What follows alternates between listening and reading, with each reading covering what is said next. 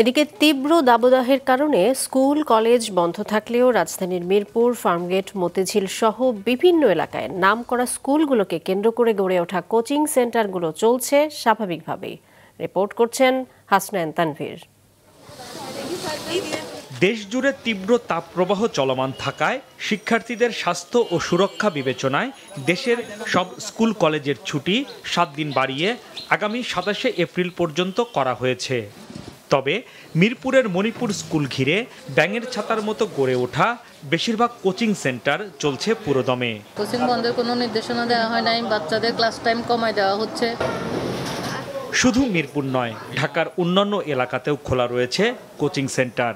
তীব্র গরমে coaching class করতে বাধ্য হওয়া শিক্ষার্থীরা মিশ্র প্রতিক্রিয়া জানিয়েছেন। গরমে ক্লাস করতে ভালো লাগে?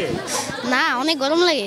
কোচিং আসতে গরম লাগে ভালো লাগে। আমাদের কোচিং যদি বন্ধ থাকতো অনেক ভালো হতো এই গরমে অনেক কষ্ট হয়। ভালোই কষ্ট হচ্ছে কিন্তু এখন কিছু করার না।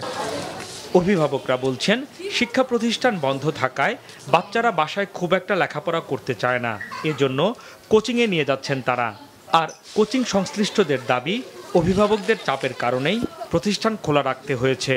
না নিয়ে আসলেও তো আমাদের অনেকটা মিস হয়ে যায়। একটা ক্লাস হয়ে গেল তখন আমাদের বাচ্চাটা মিসে পড়ে গেল না এই জন্য আসলে আমরা নিয়ে আসি। এখন বাচ্চারা স্কুল স্কুলমুখী না এরপর কোচিংও বন্ধ। তাহলে আপনার পড়ালেখার জন্য তো এটা ভীষণ ধরনের একটা অসুবিধার মুখে আমরা পড়তেছি। স্কুল বন্ধ হয়েছে কোচিংটা খোলা আছে এটাতে বাচ্চাটা কিছু শিখবে। সকালের দিকে ঠান্ডা থাকার কারণে আমরা সকালবেলা থেকেই পড়াচ্ছি। সবার দিকটা চিন্তা করেই আমরা ওপেন রেখেছি যাতে আমাদেরও সমস্যা না হয় বাচ্চাদের সমস্যা নয় বাচ্চাগুলোও পিছিয়ে না থাকে। শিক্ষার্থীদের স্বাস্থ্য নিরাপত্তার বিষয়টি নিশ্চিত করেই শিক্ষা কার্যক্রম চালিয়ে যাওয়া হচ্ছে বলে দাবি কোচিং কর্তৃপক্ষের। হাসনাইন তানভীর মাছরাঙা সংবাদ ঢাকা।